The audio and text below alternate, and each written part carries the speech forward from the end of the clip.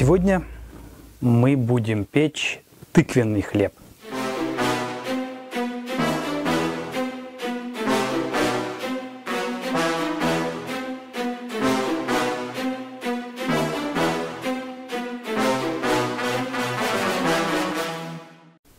Суслон – это образовательный проект об истории хлеба и хлебопечения с небольшими элементами кулинарного шоу. Само слово «суслон» очень старое слово. Несколько снопов, поставленных в поле для просушки колосьями вверх и покрытых сверху снопом же, назывались суслоном. Суслон бережет зерно, бережет историю.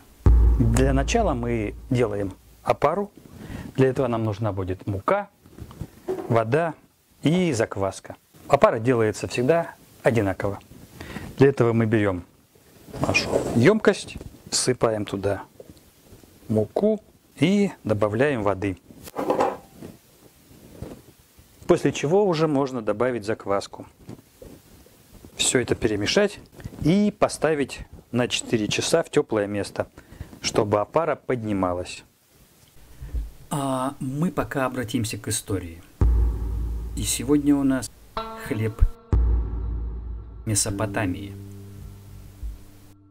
Середина четвертого тысячелетия до нашей эры. Время возникновения цивилизации в Южной Месопотамии. В исторических трудах начала XX века связывалось с приходом шумеров на эту территорию.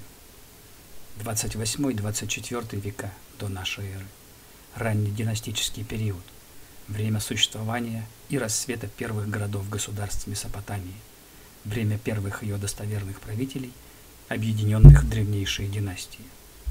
Аккад – первое централизованное государство в истории Месопотамии, первая местная деспотия и первая месопотамская держава, объединившая многочисленные города-государства этой страны. Она была крупнейшим государством мира своего времени. На пике могущества ее правитель носил титул «Царь четырех сторон света». После падения Аккада начинается период вавилонских царств – примерно с 2000 года до нашей эры. Государственность Аккада послужила эталоном для последующих ближневосточных держав. Шумерская цивилизация – это родина письменности. Одним из первых памятников письменности является Кишская табличка, найденная на месте древнего шумерского города Киш. Она была датирована периодом Урук, это около 3500-3200 годов до нашей эры. Табличка сделана из песчаника, исписана протоклинописными знаками и еще не расшифрована. Но, скорее всего, это какие-то хозяйственные записи, а не поэзия. Оригинал находится в Багдадском музее. Вообще, местом, где появилась письменность, по праву считается древний город Урук на территории Ирака. Об этом даже говорит дорожный знак – установлены недалеко от раскопок этого города.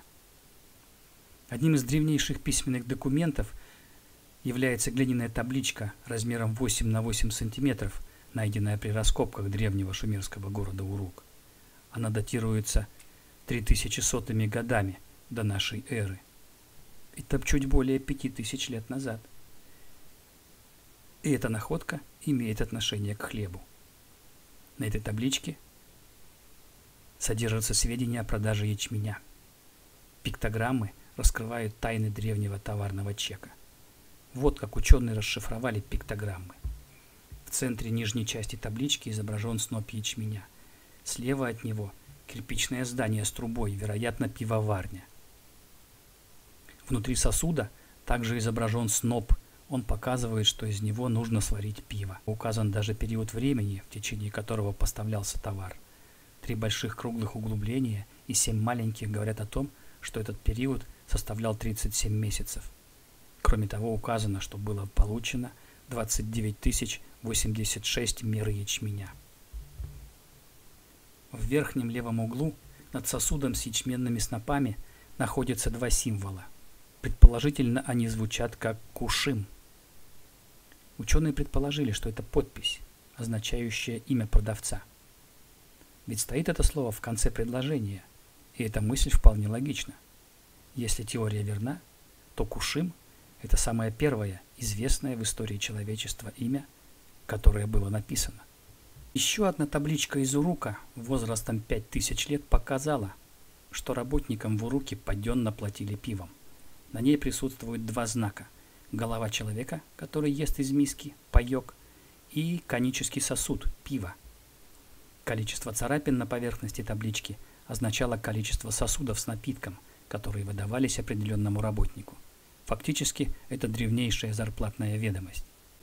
Среди прочего, на раскопках в Уруке была найдена изящная культовая ваза из алебастра высотой в один метр. На ней художник изобразил множество сцен, отражающих жизнь, обычаи и обряды шумеров. Рельефные украшения на этой вазе расположены тремя горизонтальными рядами, нижний из которых, в свою очередь, состоит из двух частей. Над животворными водами буйно колосятся хлеба, а над ними пасутся стада тучных коров и телят. Шумерский эпос о самое древнее литературное произведение. Среди прочего, в нем говорится о том, что дикарь Энкиду учится быть цивилизованным. Для этого он ест хлеб и пьет пиво. Это главные символы благ цивилизации, недоступные диким людям. Энкиду успешно цивилизуется и становится лучшим другом Гильгамеша, царя Урука. Шумеры полагали, что создателем мира является бог Энки – его созидательно-организаторская деятельность касается возделывания земли и выращивания растений. Взяв в руки плуг, Энки проложил на девственном поле священные борозды, чтобы там произрастали хлеба. С ростом могущества шумерских правителей происходило увеличение количества людей царя, ремесленников, работающих на правителя, что в свою очередь вызывало расширение дворцового хозяйства. Людям царя полагалось довольствие – Следовательно, расширялись пекарни и кухни, увеличивался штат кухонных работников. Правители стали строить даже специальные так называемые дома помола. В каждом из таких домов трудилось порой до 300 человек. Так в годы правления Шульги в одном только Лагаше царю принадлежало три таких дома. В самом большом из них работало 325 человек. Царские пекари снабжали хлебом не только дворцовых работников и ремесленников, Часть хлеба продавали горожанам. Даже при том, что в каждом шумерском доме стояла собственная печь для выпечки хлеба, горожане покупали государственный хлеб. Так известно, что одна из пекарен в городе Лагоши каждый месяц потребляла около 100 тонн муки разных сортов. Не менее широко было поставлено и пивоваренное дело. В том же Лагоше одна из царских пивоварен перерабатывала в месяц примерно 150 тонн ячменного зерна. Здесь мы видим изображение гири – весом в половину мины, 248 грамм, которая была введена царем Шульги. На ней имеется изображение серпа Луны. Самым известным из вавилонских царей является Хамурапи, царь Вавилона. Он прославился своими законами, самыми древнейшими в мире. В них также есть упоминание о хлебе. Если кто-нибудь поленится укрепить свою плотину, и вследствие того, что плотина была не укреплена им, в ней произойдет прорыв и водою будет затоплен полевой участок, то тот должен возместить уничтоженный им хлеб. При раскопках кургана под названием Балават в 1877 году недалеко от современного города Масува были найдены деревянные ворота, окованные бронзовыми полосами с множеством изображений. Эти ворота относятся ко времени царствования Салманасара II, который начал править Ассирией примерно в 860 году и умер в 825 году до нашей эры. На бронзовых полосах Великих Ворот Балавата запечатлены воинственные деяния Салманасара II. Наряду с изображением колесниц и воинов мы встречаем изображение полевого лагеря, где мужчины готовят хлеб к возвращению победоносных солдат. Мы видим, как они замешивают тесто, формируют из него плоские круглые лепешки – и, наконец, складывают их в большую кучу.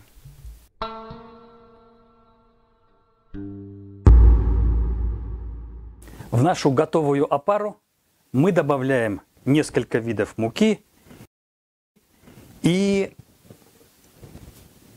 тыквенное пюре. Хлеб называется тыквенный, поэтому основной ингредиент – это тыквенное пюре. Это знакомая нам пшеничная мука. Это мука ржаная.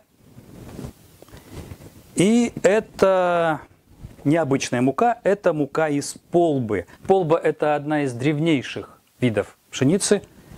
И вот мы ее тоже употребляем. Все это мы смешиваем на тестомесе.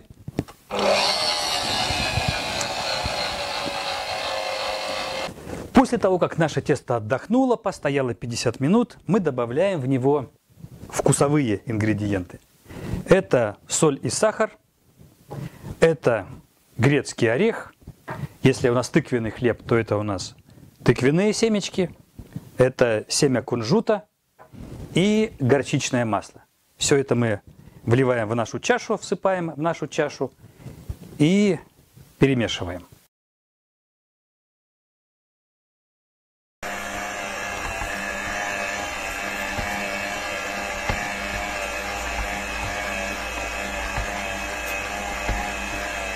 Подготовленное тесто мы складываем в формы и ставим на 4 часа в теплое место. За это время тесто поднимется и заполнит наши формы.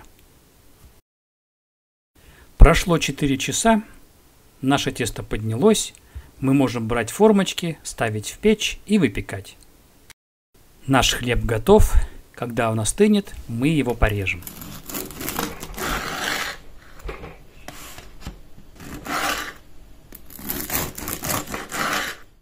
Получился хрустящий золотистый хлеб с семечками и орехами. В следующем эпизоде мы будем печь другой хлеб.